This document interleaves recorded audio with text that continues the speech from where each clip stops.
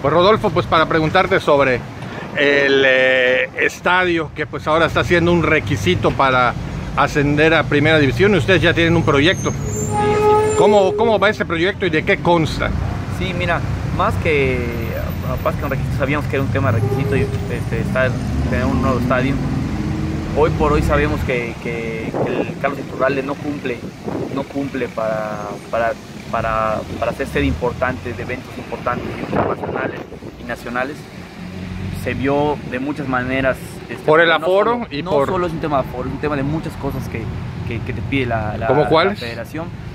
Los vestidores son cuatro vestidores eh, de, de- de- de- buena calidad, este, tener accesos y salidas rápido de las gradas para, para, para que también la gente pueda bajar, este, un tema de butacas también, un tema de aforo, un tema de comodidades, un tema de ciertas cosas de... ¿Todo el de- estadio debe estar de áreas, todo el estadio debe estar abutacado, ciertas áreas también que tiene que tener dentro del, est- del estadio, estacionamiento, tener mucho estacionamiento, este, muchas cosas que, que hoy por hoy no, no, no. Perfecto. Eh, ¿El proyecto para cuándo arrancaría El la proyecto- construcción? el- mira, el proyecto llevamos ya un año, año y dos meses trabajando.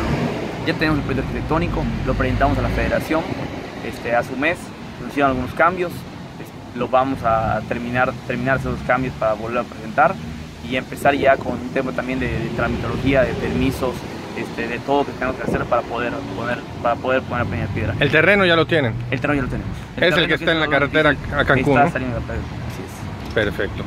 Eh, de iniciarse, ¿cuándo prevén ustedes? ¿Cuándo, ¿Cuándo estiman? Porque pues sé que no hay una fecha Mira, concreta. eh, pero... realmente lo que buscamos es un, ser un estadio eficiente.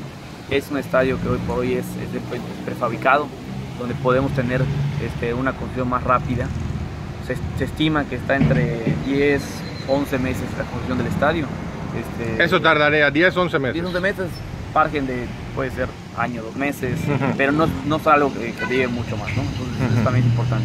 ¿Y cuándo iniciaría más o menos? Pues no precisamente el estadio ni siquiera lo hemos presentado oficialmente, porque por- a- hasta que no tener los permisos y todo transmitido lo presentamos. ¿Por qué? Porque hay cosas que no dependen de nosotros. ¿no? Si, si dependiera, pues como les dije, me encantaría poner la primera piedra mañana, pero hay temas que no dependen de nosotros y estamos empujando para que se dé el tiempo lo antes posible. Ok.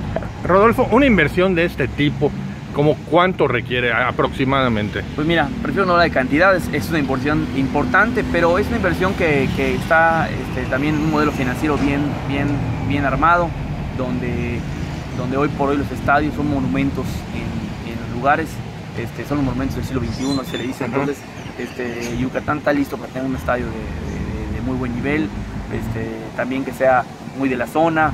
Este, de hecho, este, estadio está basado en temas de Uxmal, en- basado en Uxmal precisamente, este, temas mayas, todo eso va a ser, va a ser algo muy bonito que bueno, ¿Y sería, en su in- momento lo presentaremos. sería inversión privada?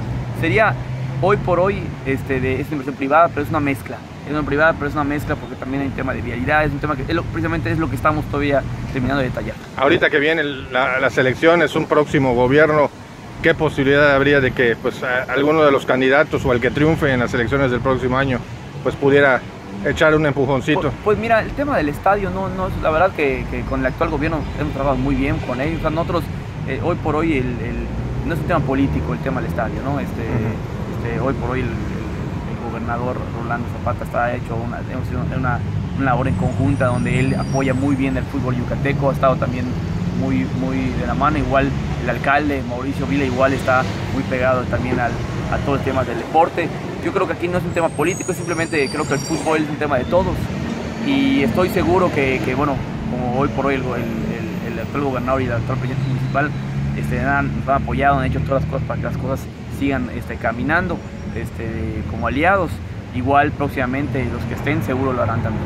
Perfecto, pues finalmente nada más reiterando un, po- un poco en, en cuanto a lo del costo del estadio, que sé, no tienes una cifra exacta, pero podríamos estar hablando de que llega a mil millones de pesos. No, no, no, no, no, no, puedo decir la cantidad, pero no, no, no, no ese, no ese. no Una ese cifra inferior. Esa inferior.